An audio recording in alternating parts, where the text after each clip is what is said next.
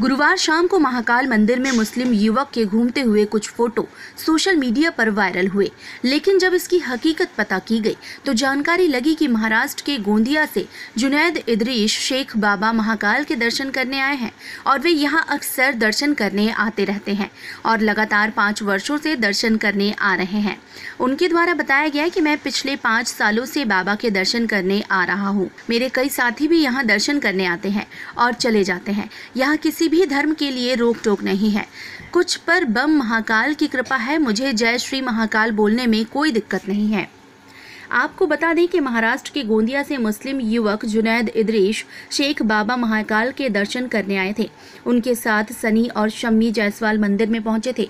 युवक जुनैद शम्मी जायसवाल की गाड़ी चलाते हैं। शम्मी जायसवाल का कहना है कि हम पूरे देश ज्योतिर्लिंग दर्शन साथ ही जाते हैं और दिनेश जी मेरे साथ दर्शन करते हैं। गोंदिया में शिवलिंग मंदिर है।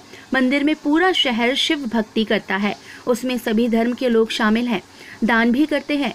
और प्रसाद पर चढ़ाते हैं। महाराष्ट्र में महाकाल के भक्तों के नाम से व्हाट्सएप ग्रुप भी है, जिसमें हिंदू, मुस्लिम सभी धर्म श्रद्धालु शामिल हैं।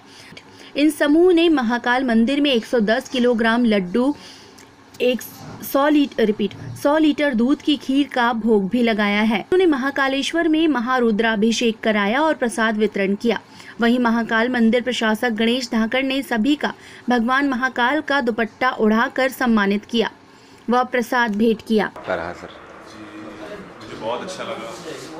मेरी आस्था है मुझे प्रशासन से भी और हमारे महाराज जी सर इनके द्वारा मुझे बहुत अच्छा लगा।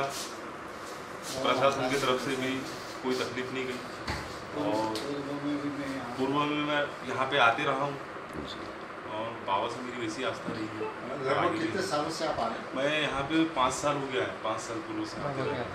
आपके बहुत सारे साथी भी आते हैं। जी जी बिल्कुल आते हैं और ज्यारत करके निकल जाते हैं। तो बाबा की इच्छा है। यहाँ की व्यवस्थाएँ कैसी लगी आपको? बहुत अच्छी लगी मुझे। किसी से प्रशासन से कोई तकलीफ़ नहीं।